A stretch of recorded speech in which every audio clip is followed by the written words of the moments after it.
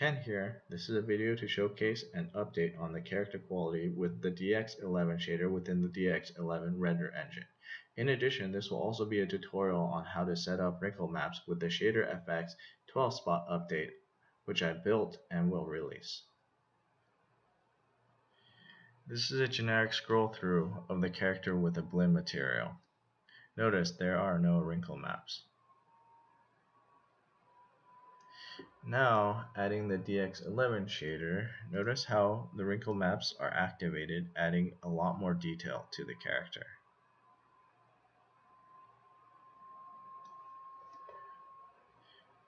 You can notice how it triggers from the forehead and some of it from the cheeks. Adds a lot more to the character. So to show how the shader works, it is fairly simple right here is the DX11 shader which I have built. It's using the shader file shader fx 12 spot update. Now there are several maps that are important to be placed inside of this texture. First is the head diffuse which is self-explanatory. Then there's the normal map which is placed in here and the wrinkle map which is placed underneath it. The wrinkle map and the normal map are incredibly important since the normal map is going to be the base layer whereas the wrinkle map is going to add the extra detail. Below that are the maps masks for the wrinkle map. These masks are really important because they separate and give control to separate areas of the wrinkle map. So example of this would be James Texture Wrinkle Map Mask 1. This mask shows the location in UV space of where the forehead is and the detail where it per pertains to.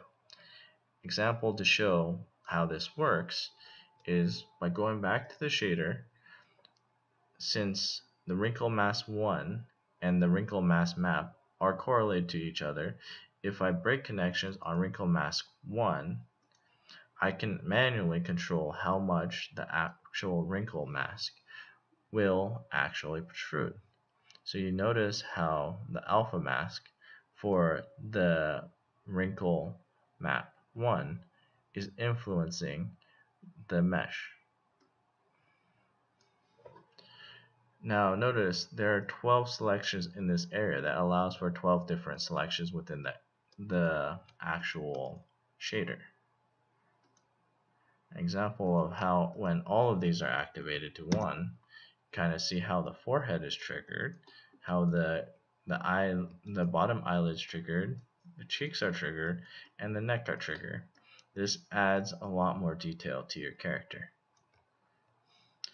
The next important thing is if you have a TD or a rigger would be simply to actually create connections from the rig to actually activate on certain expressions. So if they have an E or they have a like squint or if they have their a frown, you can trigger all these maps, these wrinkle maps, onto the actual character while calculating in animation.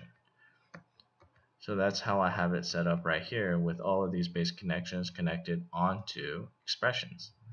Alright, thank you so much and have a good day. Bye.